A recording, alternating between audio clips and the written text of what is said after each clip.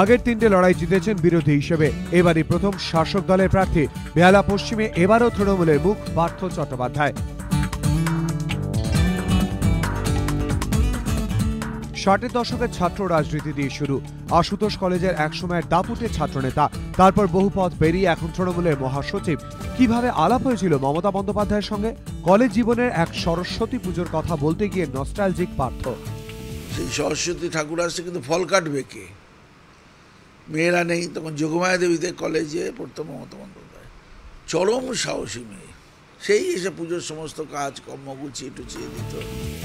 আশুতোষ কলেজের পর আইআইএস ডাব্লিউবিএমএ ছাত্রনেতা থেকে একেবারে ম্যানেজমেন্টের পড়ুয়া এমবিএ পড়তে পড়তেই ঘটে যায় এক মজার কাণ্ড। সুবোধে এসে বলল কিরে কেমন আছিস? চল তোকে খাওয়াবো। আমি একটুখানি ওই বিরিয়ানি আর চাপ সেই সময় আমার খুব প্রিয় খাদ্য। সেই মুসল বৃষ্টিতে মহাজাতি সদনের ভেতরে গাড়ি ঢুকিয়ে দিল। আমরা মহাজাতি সদন পুনরুদ্ধার করেছি। সুবোধার সাথে আমিও গ্রেপ্তার হলাম। এরপর সরকারি চাকরিতে যোগদান। সেখানে আবার প্রত্যক্ষ রাজনীতিতে মানা কিন্তু রাজনীতির সঙ্গে আলাপ কি আর অত সহজে শেষ হয়? চাকরিরত অবস্থাতে উনিশশো চুরাশি সালে নির্বাচনে মমতা বন্দ্যোপাধ্যায় ব্যাক অফিস সামলান পার্থ। তখন চাকরি করছি। অথচ আমাকে অফিসের লোক জিজ্ঞেস করছে আচ্ছা আপনি কি সেই পারত না না আমি সে পারত না। এরপর আর কৌশল নিতে হয়নি। চাকরি ছেড়ে একেবারে সক্রিয় রাজনীতিতে পা। টানা তিনবারের বিধায়ক তবে এবারে লড়াইটা একটু অন্যরকম।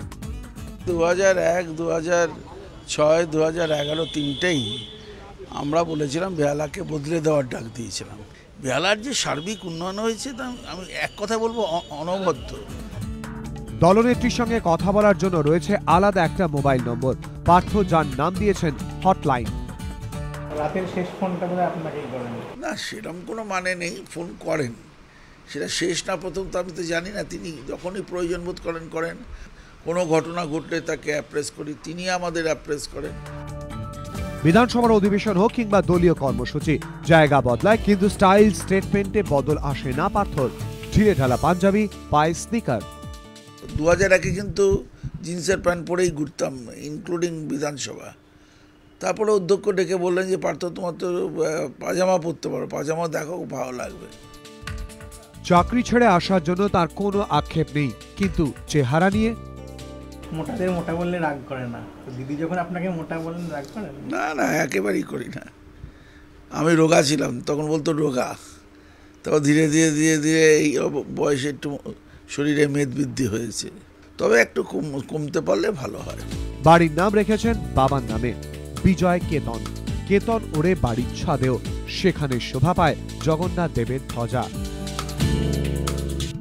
ডাক নাম কাতু।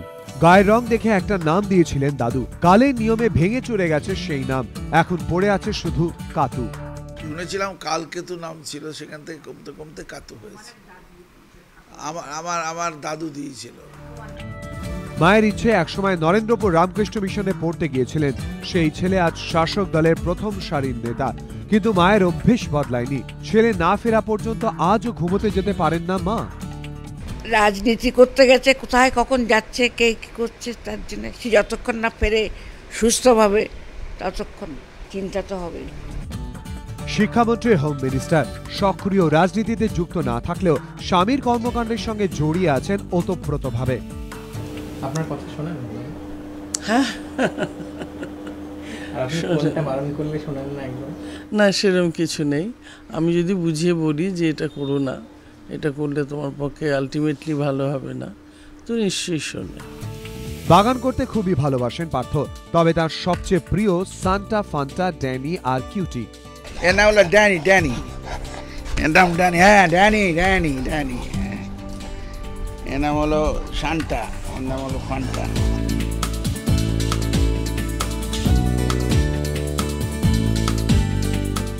আগে সপরিবারে বেড়াতে যেতেন, কিন্তু এখন হাজার ব্যস্ততা। ফ্যামিলি ট্যুরে আর সেভাবে সঙ্গ দিতে পারেন না। তবুও চেষ্টা করেন শেষ দিনে যদি যোগ দেয়া যায়। এখন তার কাছে রাজনীতি সব। সেই পুঁজি নিয়ে এবারও তিনি ভোট যুদ্ধের ময়দানে। আশা আগের তিনবারের মতো এবারও বেহালা পশ্চিম তাঁর। সঞ্চয় মিত্র, অরিত্রিক ভট্টাচার্য এবিপি আনন্দ।